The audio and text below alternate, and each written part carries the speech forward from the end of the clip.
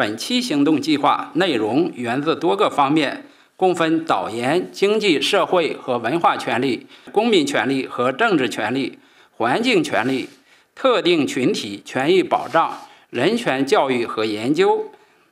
参与全球人权治理、实施监督和评估等八个部分，包含近二百项目标和任务，